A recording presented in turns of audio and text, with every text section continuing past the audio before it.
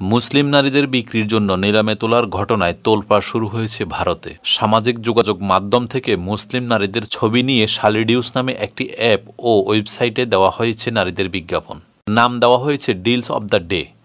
বিক্রির তালিকায় রয়েছেন হানা মহসিন খান নামে একজন মুসলিম নারী। যিনি পেশায় বাণিজ্যিক বিমান চালক।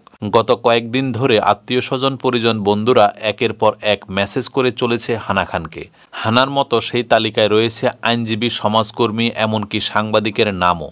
ব্যবহার করা হয়েছে টুইটারে দেওয়া তাদের ব্যক্তিগত তথ্য। ব্রিটিশ সংবাদ মাধ্যম বিবিসিকে হানা বলেছেন ধর্মীয় পরিচয়ের জন্য অবমাননার উদ্দেশ্যে এমন কাজ করা হয়েছে। তিনি জানান, ওই ওয়েবসাইটে প্রায় বিশ দিন ধরে তার ছবি ও টুইটারে দেওয়া তথ্য ছিল। ভারতে যেসব নারী পেশাদার ক্ষেত্রে সফল এবং বিভিন্ন ইস্যুতে সোচ্চার, মূলত তাদেরকে করা হয়েছে টার্গেট। হানা আরও বলেন, আমি একজন মুসলিম নারীদের সফল নারী এবং বিভিন্ন ইস্যুতে সোচ্চার, তাই তারা আমার মুখ বন্ধ করতে চায়, অপদস্থ করে ভয় দেখাতে চায়। তবে ভয় পেয়ে পিছিয়ে যাওয়ার মানুষ নই আমি, পাল্টা অভিযোগ দায়ের করেছি। এই ঘটনার সাথে জড়িত যারা, তাদের শেষ দেখে ছাড়ব। এমন ন্যাক্কারজনক ঘটনার শিকার হয়েছেন দিল্লির সাংবাদিক ফাতিমা খানও।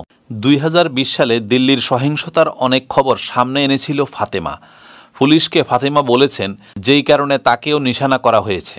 সামাজিক যোগাযোগ মাধ্যমে সক্রিয় মুসলিম নারী বিভিন্ন সময়ে সামাজিক ও ধর্মীয় অপরাধের বিরুদ্ধে সোচ্চার হয়েছেন। তাই নিছক যৌন বিনোদন নয় পুরো ঘটনার পিছনে অন্য উদ্দেশ্য রয়েছে বলে ধারণা করা হচ্ছে। এই ধরনের কার্যক্রম মুসলিম নারীদের জন্য আতঙ্ক ছড়িয়ে দিয়েছে।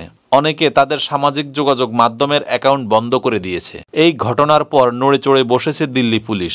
ইতিমধ্যে যৌন হয়রানির মামলা হয়েছে। সাইবার ক্রাইম ইউনিট এই মামলা দায়ের করেছে। তদন্তে নেমেছে পুলিশ। অভিযোগ পাওয়ায় ওই প্ল্যাটফর্ম কর্তৃপক্ষ অ্যাপসটি বন্ধ করে দিয়েছে। এর আগে তেরোই মে একইভাবে বিভিন্ন ওয়েবসাইট ও অ্যাপসে মুসলিম নারীদের ছবি দিয়ে নিলামে ডাক দেওয়া হয়েছিল।